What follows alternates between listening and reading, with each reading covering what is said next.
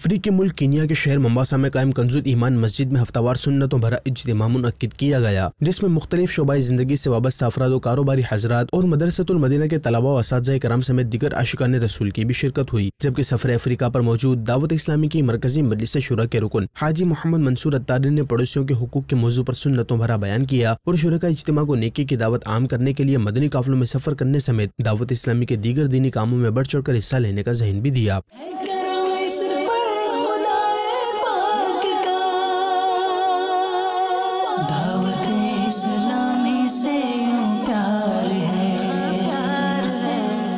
सुन्नतों भरे इज्तम के अख्ताम पर रुकन शुरा ने दुआ करवाई, जबकि सलाम भी पढ़ा गया। और शुरा का इज्तम ने रुकन शुरा से मुलाकात की सआदत भी पाई। नीज इज्तम के बाद आशिका ने रसूल ने मदनी खबरों को अपने तासुरात भी दिए। मैं इन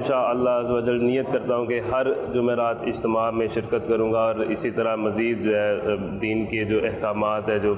बयान वगैरह सुनूँगा इसमें खूब खूब बरकतें हासिल करेंगे और दूसरों को भी इस चीज़ की दावत देंगे। अच्छा सारा बयान अता और मैं इस पर पूरा अमल करूँगा और इन हर हफ़्ते पर इज्तम में शिरकत करूँगा।